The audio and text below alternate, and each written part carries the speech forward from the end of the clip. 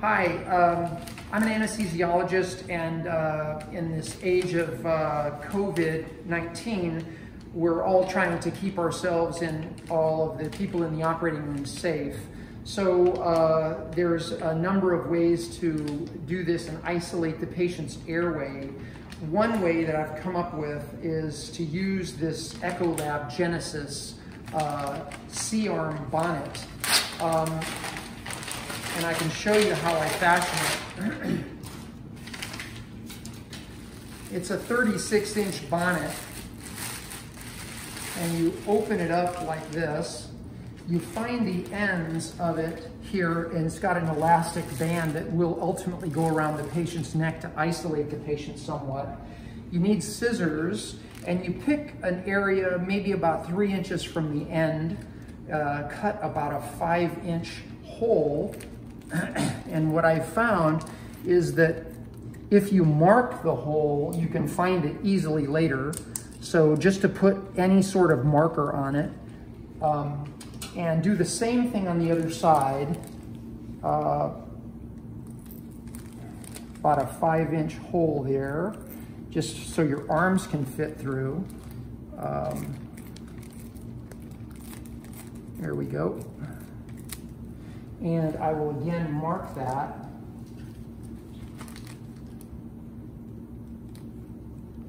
Just so I can find it because all the plastic starts to look alike at some point.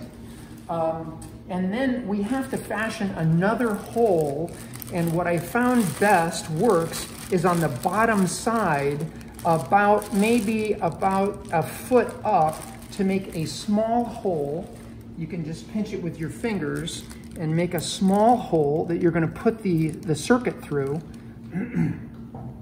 you take your uh, anesthetic circuit and you're gonna uncouple so you're, uh, if you may want to use a HEPA filter here, this is just a humidity filter, and then you, put, you, you push this, you can see how it's hard to find the hole, you push this through, there you go,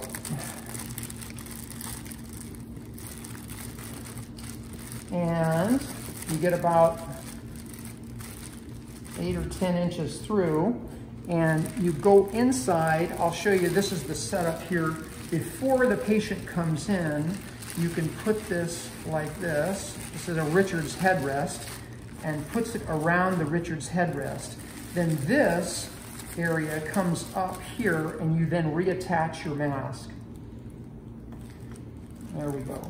Now, um, the, the straps come out. So this would be the setup before the patient comes in the operating room.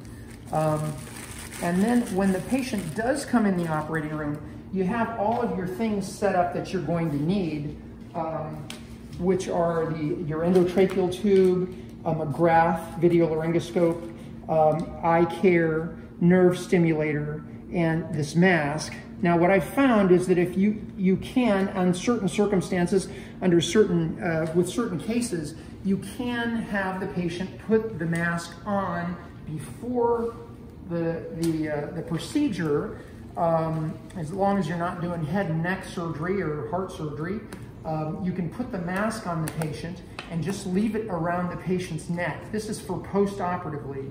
Now, when the patient comes in, uh, the patient goes ahead and rests on this uh, Richard's headrest and you start sedating the patient, hook the patient up to monitors. And of course, you're all in protective gear. Um, you can put this on the patient's, the uh, mask on the patient's face and pre-oxygenate.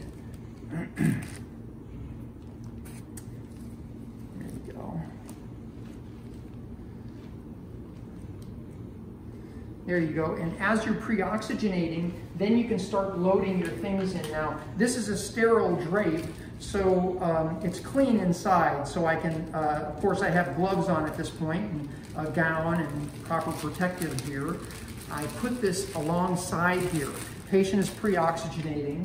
Um, I can also take this out. This is a number seven endotracheal tube with a, uh, a 10 cc syringe, and I can put it in through this hole here.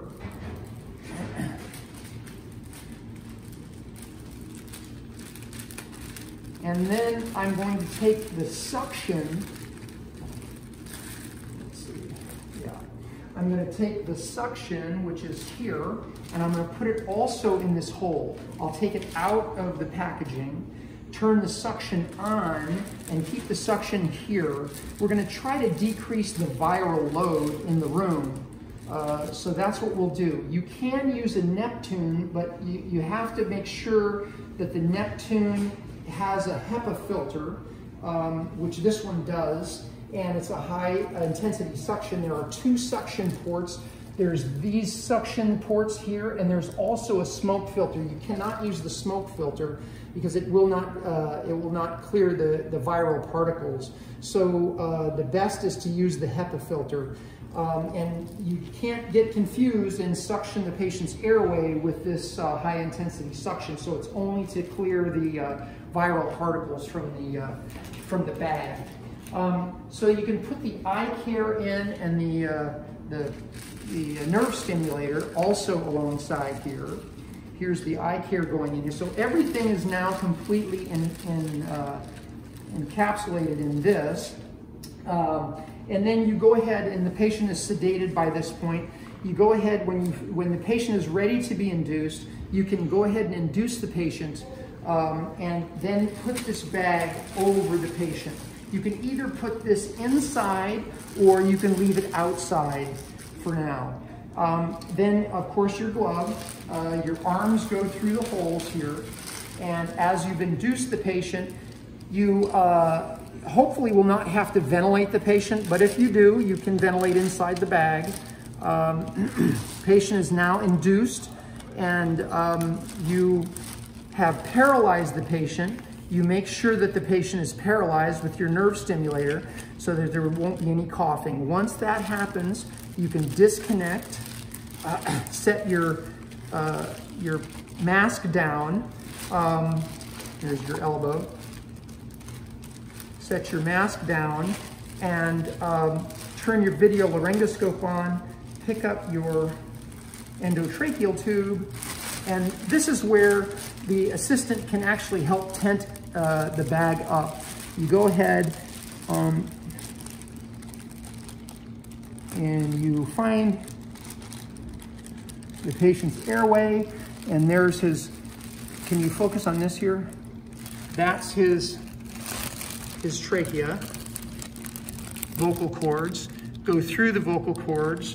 You can come out with the video laryngoscope and now inflate the cuff, pull the stylet out, reconnect up, and there you go. Now, um, you, you could also put tape inside here to, you know, secure the, secure the endotracheal tube.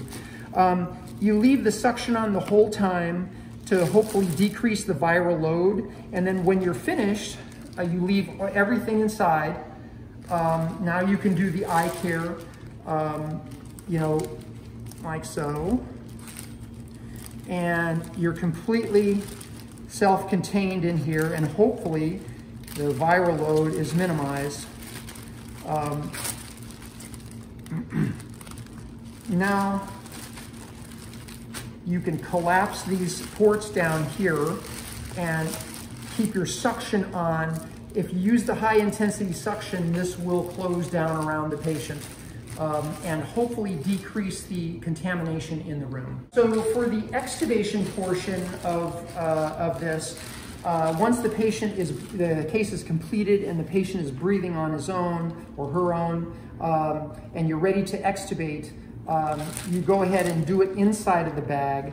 Um, and uh, you, you have your mask, you have your video laryngoscope still in there, um, your stylet is still in there, and your suction is in there. Everything you need is there. So you'd remove the, uh, the eye care um, and deflate the, uh, the cuff. Patients breathing on their own, they may be coughing. Um, go ahead and extubate after you suction. Um, and then either the, the mask would go on their face or this mask would go on their face, um, connected up to oxygen. leave the patient in, uh, continue the suction in here, uh, you know, uh, sedate the patient as necessary, leave the patient in here, as long as they, they're comfortable and will tolerate it. Um, and then, of course, when you're ready to go, everything comes off this way and uh, patient gets transferred over. I hope this has been helpful uh, and hope you stay safe and maybe somebody will be able to uh, utilize this at some point. We have used, um, we have used uh, rigid, rigid framework devices which work well in certain circumstances, but for upper extremities, for heart surgery, uh, for anything uh, in, the, in the upper abdomen, it's a little more cumbersome to do. Um, so anyway, hopefully this has been helpful. Hopefully you'll stay safe. Thank you.